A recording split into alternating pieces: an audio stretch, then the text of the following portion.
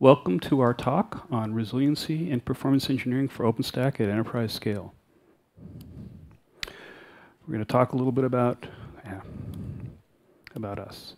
I'm Jason Venner. I'm the chief architect for Mirantis. I have been involved in most of the large-scale enterprise deployments to date. And we have Hi, everybody. I'm Nathan Trueblood, and I've been playing around with distributed systems and distributed systems at scale and uh, enterprise computing for quite a while. So we're excited to be here and tell you a little bit about our experience. Mirantis, as you can see, has a large enterprise customer list. We're also, as part of our enterprise focus, partnering with most of the people who make the equipment that's necessary for enterprise operations. And we are very major contributors to OpenStack. As part of our focus on the enterprise, we've initiated a, a, project we call the Wrecking Crew, which is designed. Our, our belief is unless you break it every possible way, you can't build stability. So we've created a crew called the Wrecking Crew to actually break everything so we can deliver you rock solid OpenStack.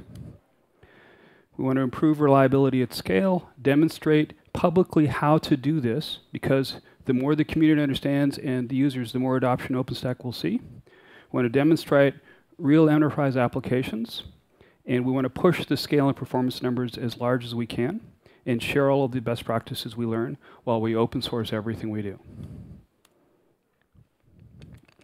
So we see a lot of the enterprise engagements, and we talk, I talk to a lot of the CIOs and the VPs, and I'm going to see what they're looking for from their perspective. They're looking for cost savings, operational efficiency, an open platform, flexibility and choice, and the ability to innovate and compete. And it has to deliver something they can run their business on, so it has to be rock solid. You know, the typical enterprise person, I need to deploy and manage my apps. I need to help, my ops team has to be able to manage what I'm delivering.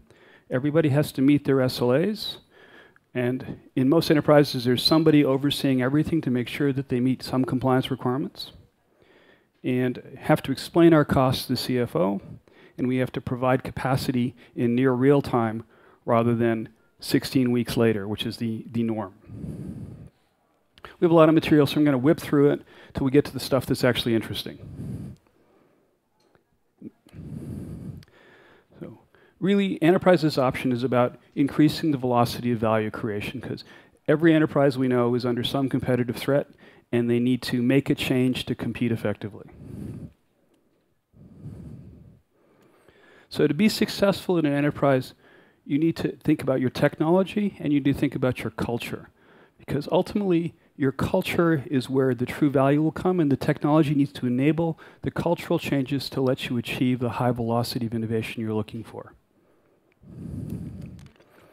And we need to plan your OpenStack clouds don't live in isolation. They have to be part of your environment. They have to integrate into your ecosystem. You need to pick, the, sorry. Get rid of that. You need to pick the plugins, because OpenStack is a control plane. You need to pick the SDN plugin, the storage plugins, the compute plugins, and everything else in your environment to fit your workloads and tailor it to your requirements. You also need to pick your hardware because these things are circular dependencies. And plan for failure because we're building for a horizontally scaled world where most everything can fail and will. And you have to for true enterprise reliability, you need to actually fail over on a regular basis because if you don't verify your failover, it's already failed. We're planning for our SLAs. We need to plan for our clusters. Most of the enterprises start with very small clusters and then they take the they take the deployment plan and the operational policies they built and try to run that on their production clusters and that's not going to work. There's really a very different whole ecosystem around production deployments versus pilots. And we also need to deal with, when we're thinking about this, friendly environments versus things that are exposed to the public internet. And be prepared to tailor your cloud to your workload if you need to.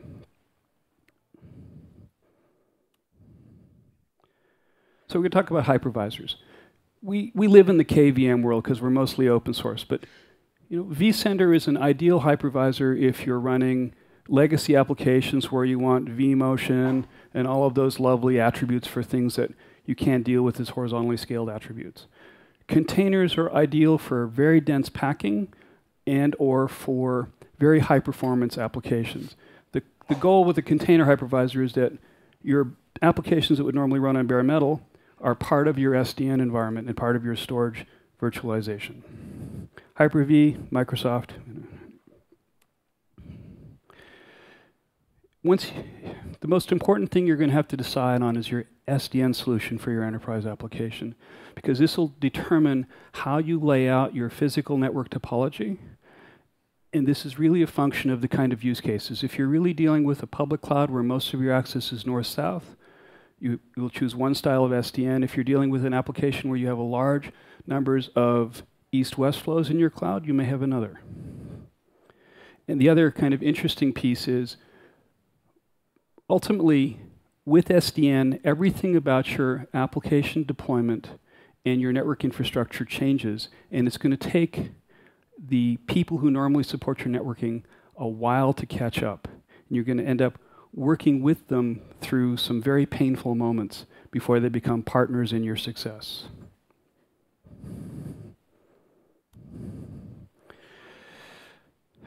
Mirantis has been a big fan of HA for OpenStack and HA for applications. We pioneered a lot of the HA for OpenStack. Oh, you want to?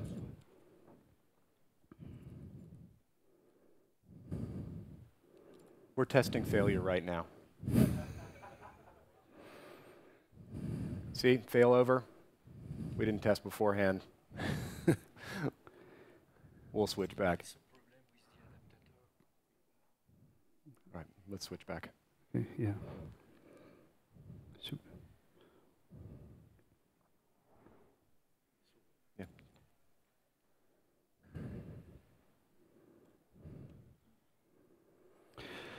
you should expect that you're going to be doing cold starts in your environment on a, a reasonable basis.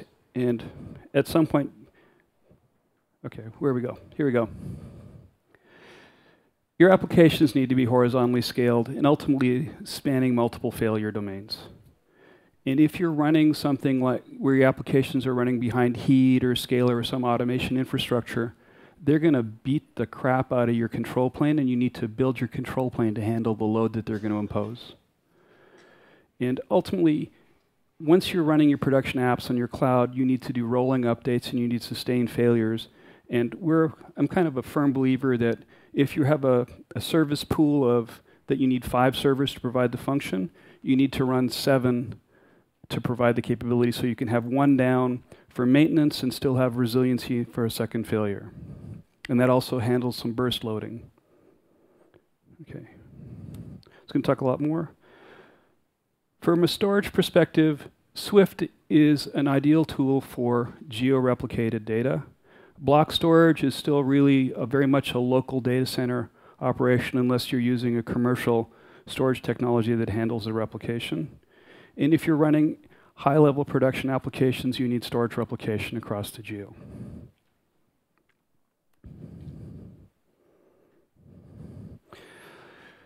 The most important thing for enterprise success is recognizing that you're going to be crossing a lot of silos in your environment, and if they're not working as a team, it'll be a disaster. We've already talked about the, the network core, the release management team needs to roll in, your software development, your architects. Who else we need? Compliance, for Compliance, example. yes. And your security and audit. We've been working through this with some of our customers, and sometimes these people come in very late in the game when you've got a you're getting ready to go live, and the time you have between the time they engage and the time you go live is less than the time they need to actually understand what you're doing so they can make sensible choices, let alone actually come up with a compliance and audit plan. You spend most of your time explaining what you're doing and why it's different.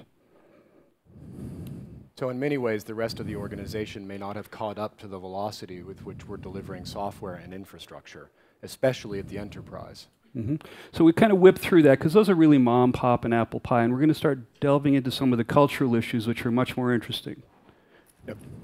So I want to talk to you a little bit about culture and what it takes to create mission-critical culture uh, within the enterprise, and how we need to think about uh, starting to, to change both within the enterprise and also within the OpenStack community what we need to do to deliver mission-critical, rock-solid OpenStack. And you know, this is a journey. It's not something we can just flip a switch and deliver. So when we think about mission critical OpenStack, you know, the question is how, how can we support this? How can we evolve what we're doing in that direction? So one of the great ways to think about this is, well, let's borrow from other mission critical situations where you know, we're already familiar and where we already know there's, there's best practices. So you can think about this. I, I put up a picture of a 747 cockpit here. There's a ton of switches and gauges and dials on there, and somebody said to me earlier this week, you know, I think there's probably more switches and dials in OpenStack than that. So this doesn't even begin to cover the kind of complexity we're dealing with in OpenStack. So let's look at how some other industries manage complexity, what they've done in their cultures, and, and how they've affected that. So put simply, what do a lot of these things have in common?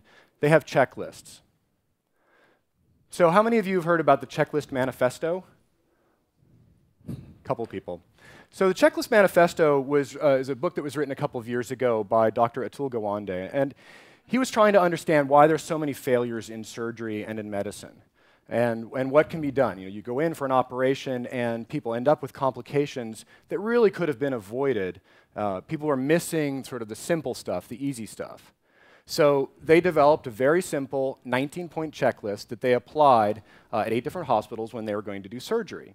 And they're trying to understand, well, if we apply the, something as simple as a checklist, borrowing from these other industries, can that really improve the results and reduce the failure rate in surgery? And quite shockingly, with just a simple checklist uh, at, at, at key points in the process, they dropped complications by 36% and dropped uh, the death rate from those complications by half. It was pretty stunning, and at first they, they really couldn't quite believe the results. So, one thing you might ask, and this happened in the medical field, well, you know, okay, maybe that's surgery, but is, is OpenStack, is it too complex for checklists? So a lot of the doctors rejected the idea, and I think when we think about something as simple as a checklist, and when you're thinking of operations, we've all had a ton of education, training, worked for years with all this technology, and for someone like me to come along or this doctor to come along and say, you know what you really need is a simple checklist. Everyone rolls their eyes and says, well, you know, that's not really the answer here. We're dealing with very complex systems, and, and you, know, you can't reduce my job to a checklist. Uh, but my favorite part about his, his study was that when they surveyed the doctors about the effectiveness of checklists, 20% of them said, ah, waste of time, don't need it. Uh, but when they surveyed those same guys and said, well, if you were getting surgery, would you want a checklist? 94%. So everybody wanted a checklist for their surgery, but didn't necessarily think it was, it was the thing for them. So thankfully, we're not doing surgery. We're, we're, we're building OpenStack and trying to run it in production for the enterprise. So it's not quite a life and death experience, but for uh, many of you who may have been through a service outage at scale, uh, it can feel like a near-death experience if you're involved in it. Uh, and so, uh, you know, I think it's worthwhile to think about that as a, as a comparison. So there's lots of ways we can, we can uh, apply checklists in OpenStack. We can apply it uh, at the requirements level. Uh, I experienced this at, at, Hadoop when we were running you know, 40,000 servers, 500 petabytes, uh, and you know, we had a lot of development teams coming up with really amazing stuff, and they would come and say, I've got this incredible new service, I want to put it on the production grid. And then our DevOps team would come out and say, well, here's the checklist. Have you thought about your HA strategy? Have you thought about what you're going to do, how we're going to monitor this thing? Have you thought about these, you know, very simple, it's like three or four points. HA, monitoring, upgrade and rollback, you know, pretty basic stuff, but of course the engineers were so focused on delivering the new service, they weren't really sensitized yet to thinking about what it was going to take to put things into production. And so this is kind of the point I'm trying to make about culture is that as a community and as people implementing OpenStack in the enterprise, we really need to think about how we create that production-oriented thinking in the enterprise.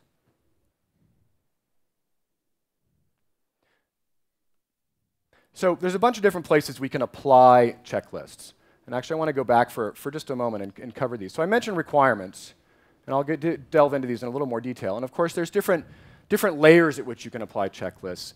But stages are also a really important place to think about checklists when running things uh, in, uh, at, scale.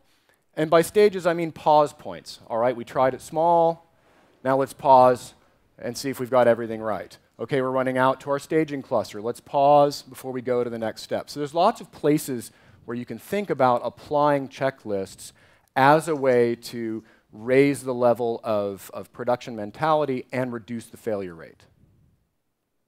So you know, I covered you know, some, some examples of, of good pause points when going from an idea to putting something into production. Uh, and you can think of each of these as, as good checkpoints to stop and think and make sure you've, you've done your homework with respect to production. Requirements, I covered those a moment ago. Again, you know, it seems pretty basic.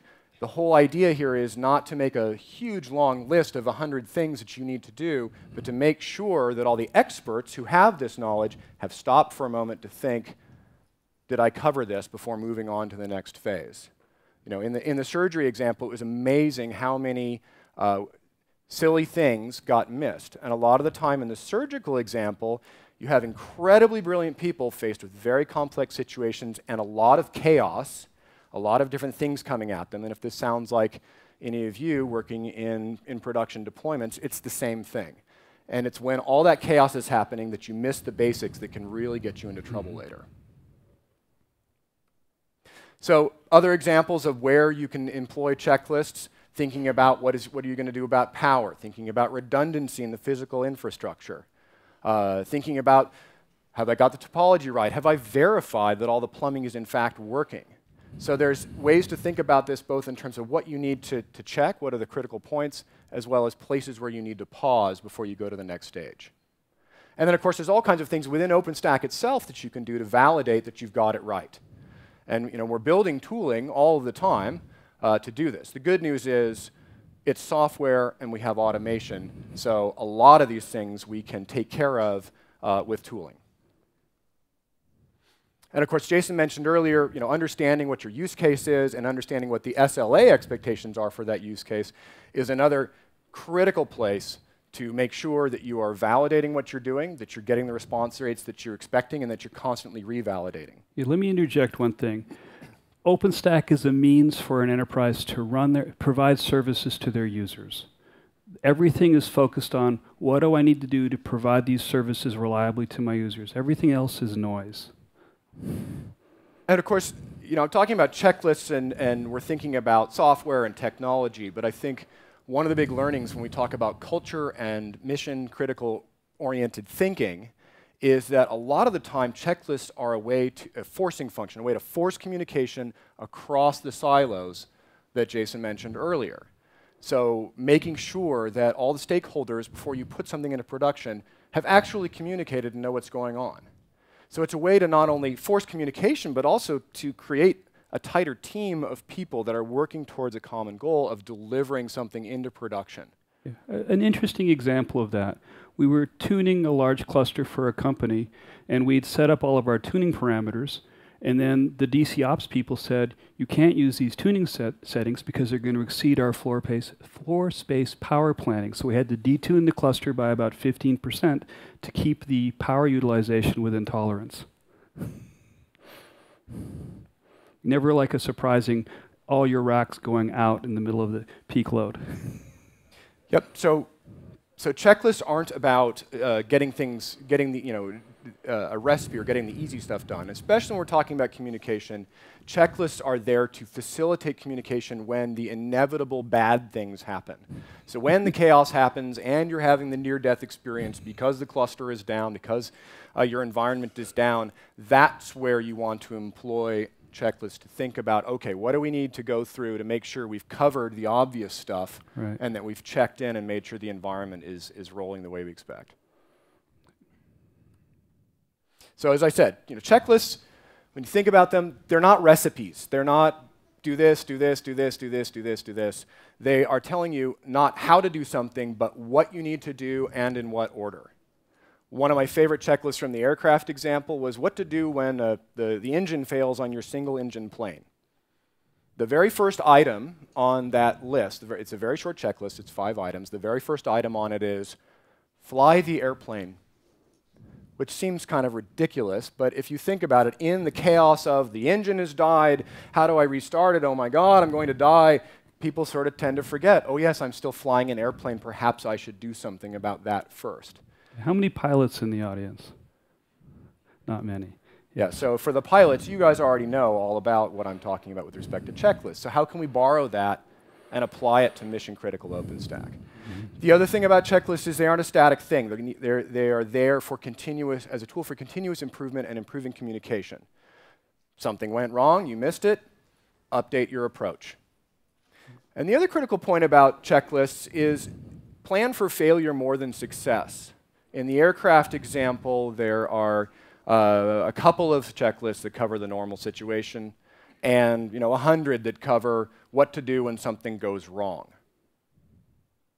So, you know, it may seem like putting in more work up front to planning what you're going to do in production, but if you do it right and you work across the teams, you're actually going to save yourself time and make this easier and repeatable. You can't afford not to do this. Otherwise, you'll never deliver reliable features to production that stay up and running. So when you think about this, to sort of summarize, you know, today I'm not going to give you a bunch of checklists. As we develop them within Mirantis, as we are developing them, uh, we'll share them publicly. I think you can see a lot of the things, and I'll, I'll give some examples in a minute, where we're applying a checklist mentality to the tooling that we're developing for OpenStack and how mm -hmm. you mm-hmm. can do that. But think about what are your checklists? What are the critical areas where this needs to happen? Keep it simple. Like I said before, a checklist is not a to-do list. If it's something that's 100 lines long, everyone is going to ignore this. We live in a very complex, interrupt-driven world. It has to be short. As I said before, consider what are the stages, what are the, what are the key communication points you need to think about when you are putting something into production and it's mission critical. And of course, as wrecking crew, never stop thinking about failures. I said before, plan to fail, fail over, see what happens, make sure you've done that already, and yeah. develop your checklists while you're doing that, not after everyone has had the near death experience mm -hmm. of having their entire environment fail. So uh, I'm going to change gears in just a second.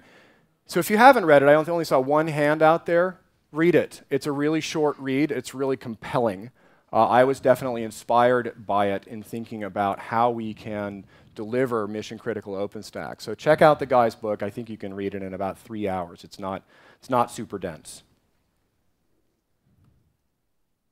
All right, so we get to some meat finally. Now, yeah, now we're talk a little bit about how we're applying some of this thinking. So, uh, you know, Jason talked quite a bit about considerations you need to make from a technology perspective.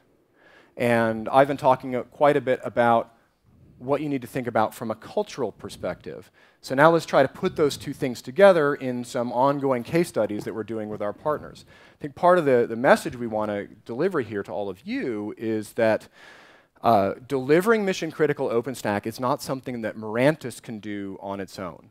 It's not something that any of us can do on its own. Part of the beauty of open source is that it really is going to take an entire community of us to deliver the kind of rock solid, mission critical uh, experience that the enterprise needs. So this is why we're working with partners, uh, working with customers, and we want to work with all of you in how do we raise the production quality, how do we raise OpenStack to be that mission critical infrastructure that we all want. So talk a little bit about uh, what we were doing with Flextronics. Flextronics worked with us, is, is actually on, uh, working with us on an ongoing basis in their cloud labs. And so some of the questions we wanted to understand is, well, with the current state of tooling and with what's out there, uh, what's the experience of trying to uh, configure and deploy uh, mission-critical OpenStack at the scale of about 60 nodes? So the idea was to, to walk through a complete deployment with the current, current tooling, configure for HA, configure for, for mission-critical operation, and, and see what that experience is like and where we see some, some, uh, some gaps. And this was largely him, one of our product managers, doing it, not the core guys that we send out to the customer sites to tackle anything. Yeah, so I had the uh, advantage or disadvantage, I suppose, of not having the same technical depth, at, say, as Jason, uh, and knowing where, you know, where all the, the, the gray areas are uh, in OpenStack when deploying for something at production. So what did we deploy? Uh, a little bit of a drift there. So uh, Flextronics was kind enough to provide uh, 54 nodes of their Wolfpack 1U computes. Uh, we deployed those onto a couple of racks. Um, we also used six nodes of their uh, Kenya 2U storage units. Um, we had a lot of switches in there. We had 10 Edgecore switches, five per rack. Um, and the idea here was this is not, not unlike what, uh, maybe not large scale yet, but not unlike what customers are deploying today. Bit of a spaghetti diagram, but this is just to show. So we had uh, uh, two racks, as I said, 10 switches, uh, five networks. We deployed all of this according to Mirantis' uh, you know, reference architecture for networking as well as, as for the underlying infrastructure. And uh, just briefly, you know, we had a network for, the, uh, for PXE booting, a network for public VM uh, IPs, as well as uh, 10 gig networks for management, for the private east-west networking, and of course 10 gig network for storage as well. As I mentioned, we deployed all of this based on our reference architecture. Uh, and uh, we'll make these available later. I know this is a, definitely an eye chart for all of you in the audience, but it's to represent, again, a little bit of checklist thinking. We, we worked hard to think through the physical infrastructure of the network, the logical infrastructure of the network, and so forth. And, and for this particular example, uh, we deployed Neutron VLAN. So the software components that were involved, we deployed OpenStack Icehouse. Uh, we did the deployment using, uh, using Fuel. We also deployed some additional capabilities, like we used Zabbix uh, for monitoring the infrastructure. Uh, we've deployed uh, Rally for, for test and benchmarking against the cluster. Uh, we used Ceph for block and object storage on the storage nodes in the cluster. And then on top of that, we also used Sahara, or at least our, our first stab at this is using Sahara uh, to generate workloads on the cluster. Um, today, a lot of the workload generation that's out there is, is still in the early days. Uh, and so spinning up and spinning down a VM is not necessarily simulating a real world, real world workload. Yeah. So we used Sahara and used a Hadoop workload as something to, to generate a workload. Looks, looks a little bit more like uh, what you would expect. Sahara is Hadoop as a service for those who are not familiar. It lets you deploy Hadoop clusters in VMs very quickly and easily. So what did we learn in going through this experience of standing up the cluster and doing some of this benchmarking? So, and this is, uh, I kind of think of this as food for checklists for later, right? So we started small. So we didn't throw for the touchdown, use a sports analogy. We didn't try to stand the entire thing up, make it all work in the first shot. Uh, well, truth be told, we did try that, but it failed miserably. so yeah. Uh, we all do this. We're like, oh, it'll be fine, and then two days later of moving two, cables yeah, around. Uh, yeah. so this leads to the next bullet point, which is debug the physical infrastructure. Now, again, some of this is sort of motherhood and apple pie, but can't uh, stress enough the importance of making sure you've got this right before you move on to the next step. Right. So we liken it to the Leaning Tower of Pisa. If you want to build an upright structure, you have to verify each floor before you build the next one. That's right. And you know, and some of this uh, is is slightly different thinking from what you're doing in a development uh, environment, where you know typically the deployment may be smaller, and the environment you're working in, uh, you know, may not have the same kind of requirements. So once we got the physical infrastructure solid, and we verified it, then we started layering in more of the complexity. So I mentioned we used Neutron VLAN, but before we tried to troubleshoot all of the switch configuration, we started with GRE. Right. Much simpler. Just a way for us to verify all the plumbing before we layered on additional uh, complexity. Then once we had all that going, then we could confirm the health of OpenStack.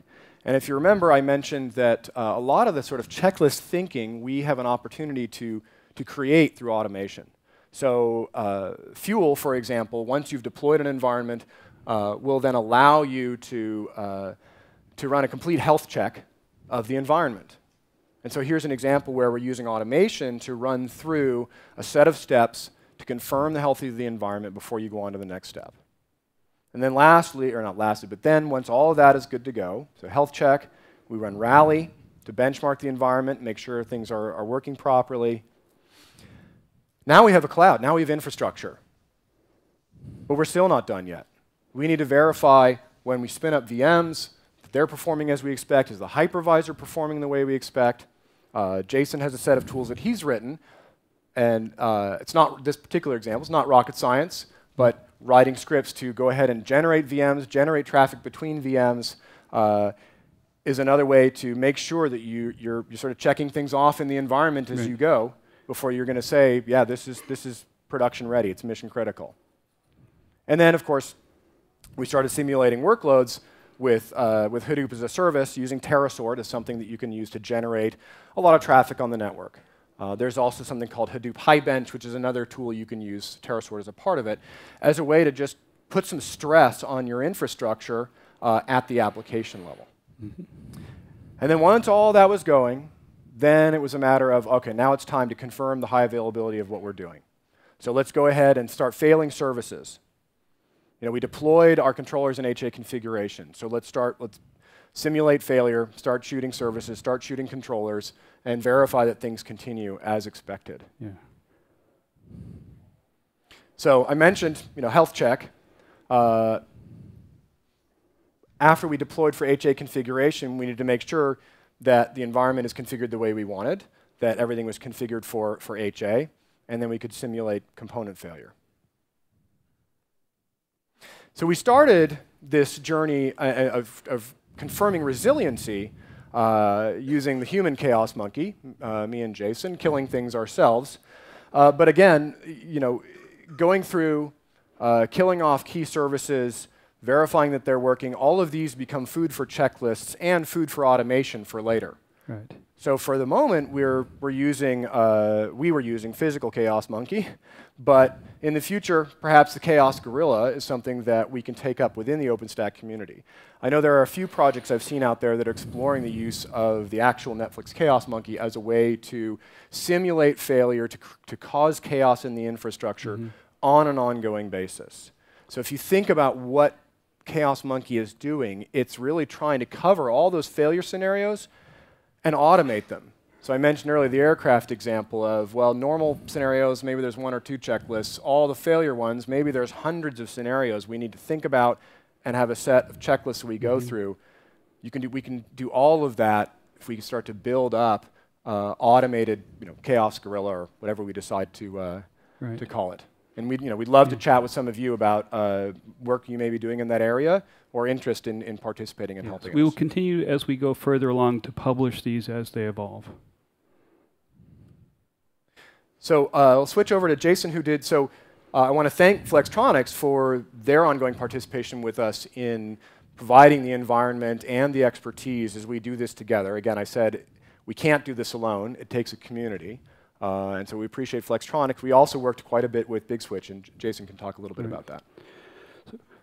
Big Switch had a 16 rack configuration, which was a nice large OpenStack environment for us to play in. And we ran TeraSort on a 75 node Hadoop cluster we provisioned through Sahara. And after, and I'll, I'll talk a little bit more about some of the details, but the baseline with everything working perfectly we running the, the TeraSort was running in about 7 minutes 22 seconds. And then Big Switch started simulating failures of the spine switches, the core switches across the cluster during the run, which ultimately networking is the heart of your OpenStack cluster. If your networking is unstable, forget it. You can just go home. And there, the application didn't even notice that they were making failures across the cluster. And this happened with a background load of about 42,000 VMs on the cluster. So was a quite exciting result, and we're looking forward to publishing some more results. The very interesting thing that came out from this is this cluster had a mix of server types for the hypervisors. And we didn't really think about that. You know, we think a flavor is a flavor is a flavor. All, all M1 smalls or M1 tinies or M1 larges are exactly the same. And they were in fact exactly not. And we couldn't, it took us a day or so to figure out why we had a 3x variation in the run the run times. And we used a small tool from a company, a little startup called Megafind, which let us run a very quick infrastructure analytics on any given VM. And we saw that we had over a factor of two variants within the flavors, depending on the hypervisor. So once we reran the jobs all on the appropriate CPU cycle, we had very stable times. So it was very nice. It's another example of food for checklists. So by, by running this tool and running the analytics against the infrastructure, uh, you're able to anticipate problems beforehand. Right. I, up until this, I would run sysbench and a few other things across all of the hypervisors, and I'd normally expect quite a spread in performance, but I didn't have any quick and easy way to, to run this across the set. Let me throw in one more story. My friend David from Symantec is here. We deployed a, they have a fairly large cluster, and we deploy at the rack level. They deploy at the rack level, and we built an extensive, they, in combination, we did a lot of work with them built a very extensive rack level validator as part of our checklist where when a, a switch discovery happens in the spine, the Tor is booted with a bootstrap image. We power on the boxes and we actually validate through looking at the DHCP and the MAC ports of the servers the switch port, the cabling plan. We bootstrap an image on every server and, and we verify the full cabling plan and burn in the entire rack before we release it for use in the OpenStack cloud or some other purpose. And having that baseline means that everything else is simpler because we know that that floor is solid. So there's a birds of a feather, feather session for the enterprise, 11 a.m. room 241. There's the OpenStack for the Win the Enterprise mailing list. If you're interested in participating with the Wrecking Crew, you can mail Amitabh Shah and uh, we'll produce further updates on the blog at Mirantis. And of course, you can also come talk to us, because as I, we've been saying all along, we can't do this alone. It's critically important to OpenStack. Right. So This is a community effort. We hope to actually at some point have a large-scale performance and scale testing lab that people can gate things through, It uses a CI gate. And of course, there's a lot more talks uh, that sort of fit within what we're thinking about within the wrecking crew. Uh, I know it's another bit of an eye chart, but uh, you know, please. Oop, Oop, what happened? I don't know what happened. Um, Maybe they pulled out the hook. Okay, there we go. Okay. So, uh, a lot more talks here at the summit uh, in this same vein. So please, please go check them out. And thank you. I'll put this uh, put this slide back up there in case some of you want to. Looks take like we have a, a couple of minutes for any questions.